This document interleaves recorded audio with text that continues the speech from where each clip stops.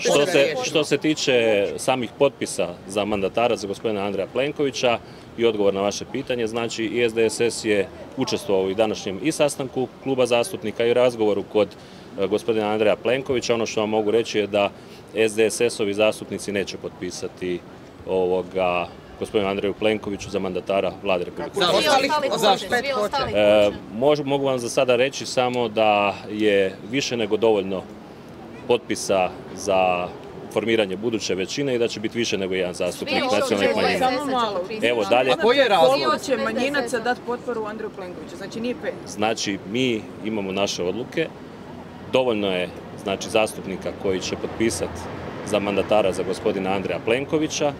Ovoga u tih u tim zastupnicima neće biti SDSS-a, bit će to više nego jedan zastupnik. Ne Čemu znati taj, sad koliko. tajnovitost? Čemu se radi? Ne radi se o tajnovitosti, radi se o odlukama kluba Pa i e, samo SDSS neće dati.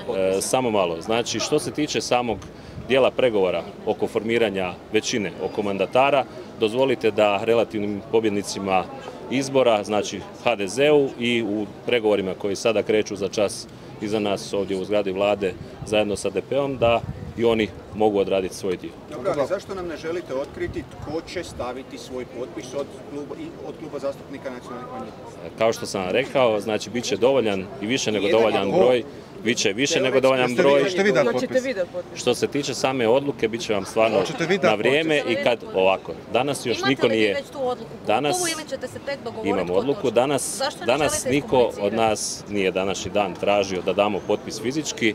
Kad budu fizički davani potpisi, vidjet ćete ko će A biti na papiru, a bit će, bit to dovoljno kao što ste dati potpis? Kao što sam vam rekao, znači dogovorili smo se unutar kluba, dogovorili smo se sa gospodinom Andrejem Plenkovićem, podržat ćemo ga za mandatara nove vlade Republike Hrvatske u idućem razdoblju. Biće više nego jedan zastupnik e, nacionalnih manjina iz kluba nacionalnih manjina. SDSS kao takav neće dati potpise mandataru gospodinu Andreju Plenkoviću za formiranje vlade, a imat ćemo dovoljnu većinu i sad ovisi znači dalje o današnjim razgovorima i u budućnosti o razgovorima i između gos- eh, HDZ-a, odnosno gospodina Andreja Plenkovića i DP-a, a što se tiče svih daljnjih aktivnosti vezano za formiranje hrvatske vlade, nama u klubu zastupnika nacionalnih manjina naravno ovisit će o programu vlade i ono svemu što će biti unutra, o provedbi operativnih programa i sve što nam Je predstavlja. li Je li domovinski ispravan pokret zaključak? izgurao SDSS iz vlade? Nije, niko nije izgurao. Pa Ja ću, ja ću reći ovako, znači Klub zastupnika nacionalnih manjina u Saboru će djelovati kao klub e, svih osam zastupnika nacionalnih manjina, kao i do sada nisu bile ni do sada sve odluke jedinstvene, tako nije ni ova ni koja se veže na e, potpise mandataru za formiranje buduće vlade, a o ostalim zakonskim rješenjima i potpori vlade, evo, bit ćete informirani. Je li onda ispravan zaključak da ste jedinstveni u tome da niste jedinstveni?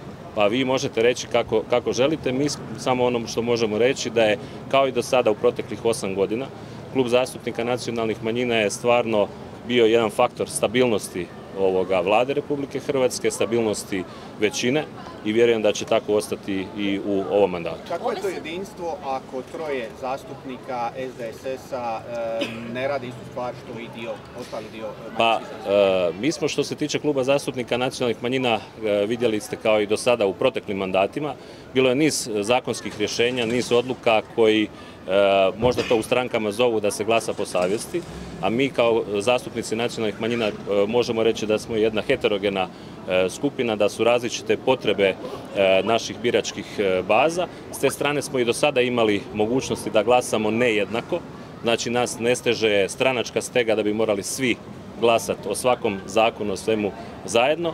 Zato smo i evo i o ovom dijelu potpore mandataru Vlade Republike Hrvatske, znači klub zastupnika nacionalnih manjina daće dovoljan broj potpisa mandataru gospodinu Andreju Plenkoviću da bi se mogla formirati buduća vlada Republike Hrvatske. Šta će to znači radi jedan dio van vlade iz neke solidarnosti prema SDSS-u? E, Evo što se tiče samog broja potpisa i samih potpisnika, kada to dođe na stol, znači kada gospodin Andrej Plenković ovoga bude e, rekao i zatražio od nas da mu dođemo fizički potpisati znači potporu za mandatara vlade Republike Hrvatske, tada ćete znati i sve ostalo. Koji je krajnji datum? potpisa, Što se tiče, što se tiče, ispričavam se, što se tiče, što se tiče krajnjeg datuma, vi znate da je krajnji datum za formiranje Hrvatskog e, parlamenta, on definira neke stvari, a što se tiče ovoga krajnjeg datuma vezano za skupljanje potpisa za mandatara, to prije svega ovisi o razgovorima sada evo koji slijede i u današnjem danu. Vjerujem da ćete kao i s ovog sastanka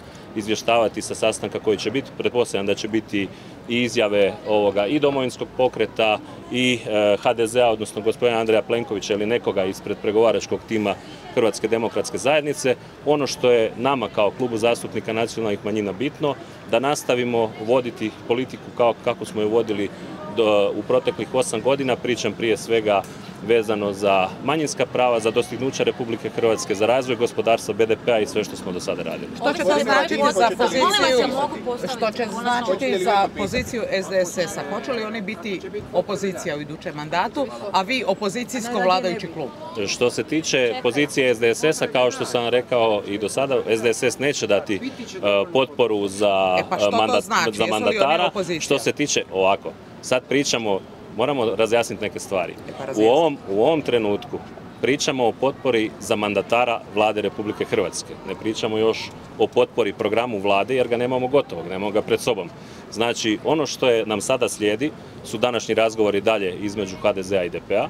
Slijedi nam, e, pretpostavljam, prikupljanje potpisa za mandatara vlade Republike Hrvatske, a onda pripremanje novog programa vlade Republike Hrvatske zajedno sa operativnim programima za nacionalne manjine, zajedno sa e, brigom za regionalni razvoj, znači u Republici Hrvatskoj za poljoprivredu i sve ostalo, a o tome će naravno ovisiti i e, kako, koliko će biti e, potpora vlade u smislu da li će ostatak, cijeli ostatak kluba dati potporu vladi Republike Hrvatske, da li pojedini zastupnici, ono što vam mogu sada sa sigurnošću reći, da gospodin Andrej Plenković kao mandatar vlade Republike Hrvatske ima više nego jedan potpis potpore za mandatara vladu Republike Hrvatske. Ovisi će li razviti. taj, Evo ovisi sam malo. li broj potpisa koji ćete na kraju dati o današnjem sastanku s domovinskim pokretom? E, Što se tiče današnjeg sastanka s domovinskim pokretom, evo mi ćemo pričekati kako će on e, završiti. Nastavit ćemo, odlučiti. nastavit ćemo onda e, dalje. Mož- moguće da i ovisi i taj broj o tome. Uglavnom, Koji je onda pripadni- uvjet?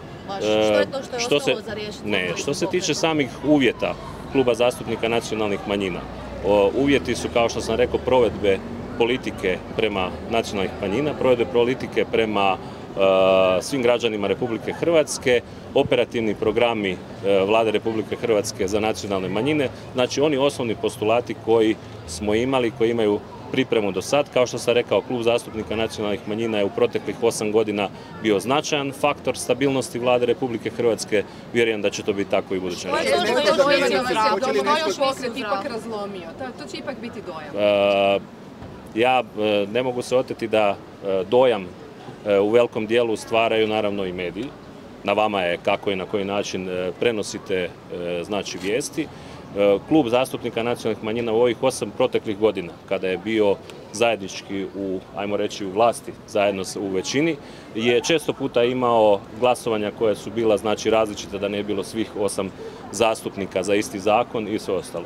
Ovo je jedna od tog dijela prakse kao što smo imali do sada, a ono što je bitno, kao što sam rekao, klub zastupnika nacionalnih manjina broji osam članova, e, kao i ovih osam godina proteklih u suradnji sa gospodinom Andrejom Plenkovićem i vladom Republike Hrvatske i dalje gospodin Plenković ima našu potporu, a dio kluba zastupnika nacionalnih manjina daće svojim potpisom potporu Andreju Plenkoviću za mandataru vlade Republike Hrvatske. Hoće li netko drugi biti među ministrima umjesto Anje Šimprage i predstavnika E? Što se tiče, što se tiče samih pozicija u vladi Republike Hrvatske, bez obzira da li su oni od strane HDZ-a, od strane manjina, od strane pregovaračkog tima neke drugih stranaka, o tome apsolutno nismo za sada razgovarali.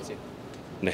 Je li odnos, Nikako. je li skoro odnos, dignuti ruku za Gordana Jandrokovića za konstituiranje Sabora? Što se tiče konstituiranja Sabora, Klub zastupnika nacionalnih manjina već protekli četvrtak je e, donio odluku e, i e, da daje potporu gospodinu Gordanu Jandrokoviću za predsjednika Hrvatskog sabora prilikom konstituirajuće sjednice Hrvatskog sabora koje vjerujem da će biti u idućih e, 10-12 dana. Vidit ćemo Svih gospod- osmero? Znači osam ruku. Da. Što je to što visi u zraku što čekate da se riješi na sastanku da odlučite koji je broj ruku? Ima li veze s SDSS-om, je li to možda odnos domovinskog pokreta prema Nema, e, nema veze sa, direktno sa SDSS-om, ima veze, ima veze prije svega o e, budućem programu Vlade Republike Hrvatske, ima Što vam veze... je tu sporno? Što želite izbjeći? Što Ne, što se tiče... Je li Ministarstvo kulture razlog? Ovako, što se tiče samih ministarstava, što se tiče ljudi i sve ostalo, znači sve to ima određeni e, utjecaj, naravno razmišljanje bilo kog bilo kojeg hrvatskog građana, dozvolimo e, Andreju Plenkoviću kao voditelju tima za pregovore Hrvatske demokratske zajednice, IDP-u da danas odrade svoj dio pregovora. Kad ćemo imati nove informacije nakon e, sastanka kluba nacionalnih manjina, naravno da ćemo vas izvijestiti. Isto tako kad će gospodin Andrej Plenković zatražiti od nas da svojim potpisima podržimo e, njegovu kandidaturu za mandatara nove vlade Republike Hrvatske, bit će vam poznato i koliko i koji su to zastupnici koji su dali potporu gospodinu Andreju Plenkoviću. Ovoga ono što vam mogu reći još jednom, bit će više nego jedno.